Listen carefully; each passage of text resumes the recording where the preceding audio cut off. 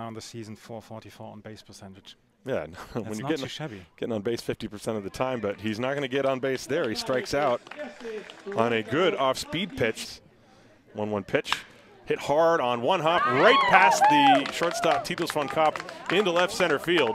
Sliding stop by Steinlein, and that holds the runners to second and third. If that ball had gotten all the way through to the gap, probably DeWolf would have scored. And the pitch. There's a ground ball to third, juggled by Thomas. He recovers, and he's got no play. Everybody's safe. Mannheim leads by a score of one to nothing. There's the 1-0. That ball hit in the air to left field. Herline is racing back. Warning track. Wall, and it is off the base of the wall. Thorpe around first, headed to second base, and he's got a two-out double. There's the tying run for the Disciples. I think he hit it off the end of the bat. Uh, Nathan Thomas, switch hitter batting from the left side. Rizzo comes set. Thorpe is off second base. And the pitch. This one sliced to left center field, and that ball is going to drop for a base hit. Thorpe around third scores. Thomas racing for third base. Here comes the throw. He's in there standing with a triple, and we have a tie ball game, one to one. that's that's an Eckersley phrase. There's the pitch. And a line drive base hit to left center field. Steinlein around third, getting waved home. Hupfner comes up throwing, and it is not in time. On to second base, the throw goes into center field. There's nobody there. Von Kopp on his way to third. He's being waved around, and he is going to score a Little League home run. The Disciples lead 3 to 1. And on the play, the shortstop Nilsson had run to cover as there was going to be a pickoff play, and that ball was lined right to the spot that Nilsson had vacated. So a confluence of things combined to give the Disciples a three to one lead. Watch Nilsson break, and the line drive goes right over where he was. So Von Kopp gets a base hit and a run batted in. And then he comes around to score on the error. Two balls, two strikes, and the pitch. Ground ball to the shortstop, Von Kopp.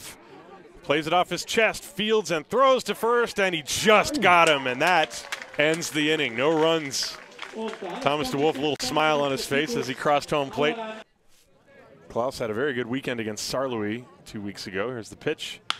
There's a line shot down the left field line. That's a base hit towards the corner. Thorpe is going to score. The ball goes all the way to the wall. Thomas is being held. He slides and falls halfway between third. Can he get back in time? Yes, he can, because Lucas Dickman didn't realize he had fallen down. That is a double for Klaus Nicolici and the Disciples lead 4 to 1. You have runners on first and second. There are two down in the inning. A run is in. The Disciples lead 5 to 1. They've scored in every inning of this game. And a line shot, base hit right center field. Lechner is going to score. That ball goes all the way to the warning track. Thorpe being waved around. He's coming to the plate, and he will score a two-run double for Klaus Nicolici. It is 7 to 1 Disciples. He's pitched four innings, allowed four hits, one run. That run was unearned. One walk and one strikeout. Typical Ondra line, low strikeouts, low walks. And the first man he deals with is that ball is crushed deep to left field. Way back it goes. It is gone. That's a home run off the bat of Dominic Hupfner. And it is 7 to 2. Well, right away, first pitch swinging. So he was injured during the final game of the finale series. And he rips one caught on a line by the first baseman, Klaus Nicolici. Klaus went down to a knee, didn't have much time to move, and he takes a double away from Mitch Nilsson. There are several ballparks that would have been a home run in, but not here. Here's the 0-1, 0-2 rather. That one is drilled, and it is going to disappear. That ball is flying out of here. David Candelas with his 11th home run of the year. Two home runs in the inning, and it's seven to three, and that's what the Mannheim Tornados do. They pulverize baseballs. That ball was sent into orbit. It was just crushed. you, could, you could hear it from the sound on the bat sound. Yeah, it was a two-strike pitch on it. There's the one-two. Swing and a miss. He struck him out, and that, ladies and gentlemen, is the first one-two-three inning we've had in this game. Tomas Ondra sets down the Tornados in order. Absolutely. Three and two on DeWolf, who was actually drafted as a pitcher by the Mets. The pitch There's a drive, right field, and that ball's gone.